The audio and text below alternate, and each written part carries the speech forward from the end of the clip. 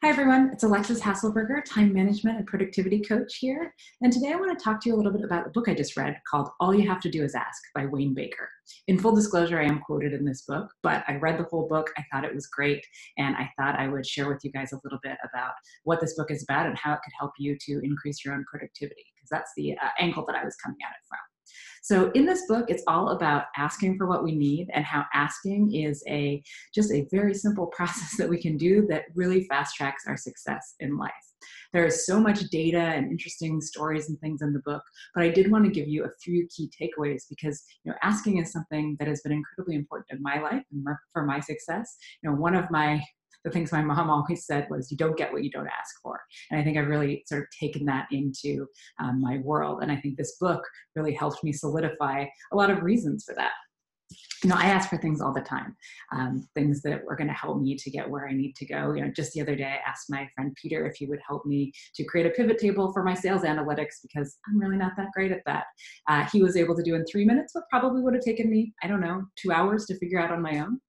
Um, also, when I started group coaching and doing, you know, moving from individual to group coaching programs, I hadn't done that before. So I reached out to someone I knew in my network who had done a lot of group programs, and she helped share with me advice that you know she had learned over the years, and that really helped me fast track some. I think that, you know, when we do put ourselves out there to ask, even if it feels uncomfortable, even if we feel like we're going to seem weak or dumb, etc., all the reasons that we don't ask in the first place, we see that actually the opposite is true. When we ask for things, that increases others' trust in us, and it also gets us to where we're going a lot faster. So, what are some key takeaways from this book that I wanted to share with you?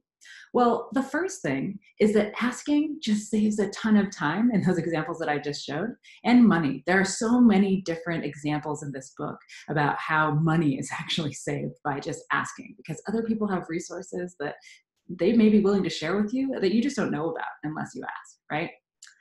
There's also a lot of information in this book about how do we ask in a way that just makes it easier and more likely for us to, to get help and to be able to help others.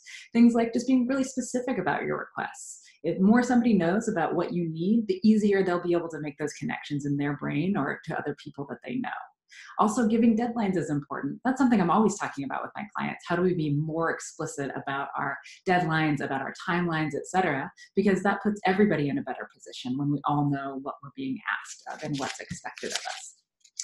And then finally, in this um, book, he really talks about this concept of a reciprocity ring, which is an exercise that um, Wayne Baker and Cheryl Baker had developed over time, which is very simple. Basically, you're in a group of people each person asks for something that they need or need help with, and then all the other people in the group provide help if they can.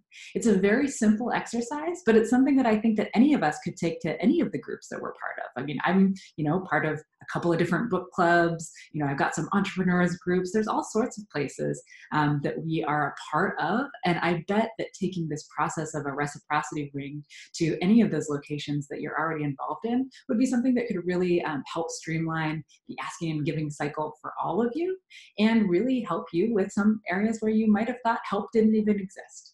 So this book, all you can do, all you have to do is ask. It was a great read for me. I read it in two days. Um, it's a great book. I think that everyone should read it. But if you don't have time to, or you just want those highlights, you can also just watch this video or check out my blog post at alexishaselberger.com. All right, bye.